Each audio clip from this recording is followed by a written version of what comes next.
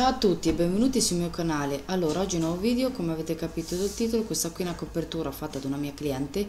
Ha scelto questo bellissimo colore di passioni unghie che si chiama Lollipop, ovviamente sempre due passate. Nell'anulare invece sono andata ad applicare il gel color sempre di passioni unghie nocciola e nell'anulare poi siamo andati a realizzare dei fiorellini eh, sempre con il colore Lollipop. Poi ho usato il Pour White per fare i contorni del fiore e con il gel colla ho applicato dei brillantini in mezzo al fiore. Poi alla fine acqua gloss di passioni unghie e olio cuticole.